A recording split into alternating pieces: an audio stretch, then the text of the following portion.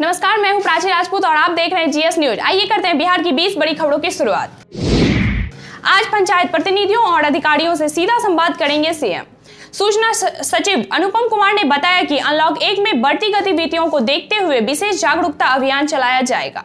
बुधवार को मुख्यमंत्री सभी पंचायत प्रतिनिधियों, नगर विकास के प्रतिनिधियों और जिला प्रशासन के सभी पदाधिकारियों के साथ संवाद कर लोगों में जागरूकता कार्यक्रम को लेकर जानकारी देंगे।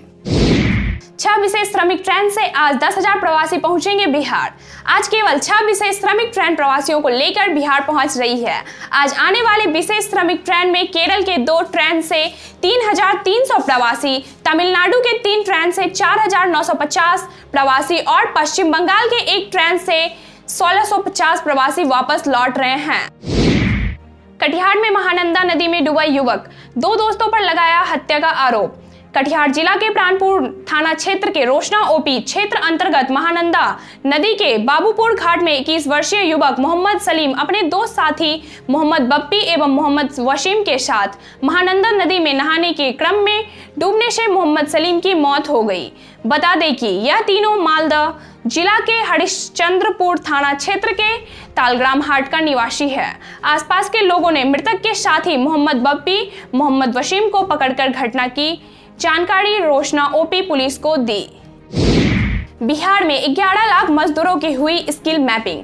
प्रवासी मजदूरों के लिए बिहार सरकार चिंतित है। अब तक 20 लाख से ज़्यादा प्रवासी मजदूर बिहार आ चुके हैं। प्रवासी मजदूरों को रोज़गार कैसे मिले, इसके लिए सरकार एक्शन प्लान तैयार कर रही है।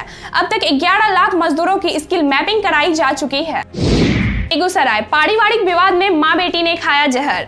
बेटी की मौत, माँ की हालत गंभीर। निजी नर्सिंग होम में चल रहा है इलाज। यह घटना लोहिया नगर थाना क्षेत्र का है। वर्चुअल रैली पर तेजस्वी के तीखे बोल। नेता प्रतिपक्ष तेजस्वी यादव ने बीजेपी पर मजदूरों की अनदेखी करने का आरोप लगाया है। तेजस्वी का कहना है कि बीजेपी वर्चुअल रैली करके चुनाव की भूख मिटा रही है और हम मजदूरों की भूख मिटाएँगे। सरकार वर्चुअल रैली के ढोंग से ज़मीन की एक्चुअल सच्चाई को छिपाना चाहती है।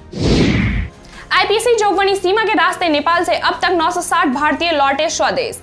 आईसीपी जोगवनी भारत नेपाल सीमा के रास्ते भारत और नेपाल के लोगों को उनके देश भेजा जा रहा है। इस क्रम में सोमवार तक 960 भारतीय जोगवनी के रास्ते भारत आए और नौ नेपाली नागरिकों को नेपाल भेजा गया। मोतिहारी ईट चिमनी के मुंशी को बाइक सवार अपराधियों ने मारी गोली। गंभीर हालत में मुंशी वीरेंद्र सिंह मोतिहारी रेफर मधुबन के कृष्णनगर में हैं।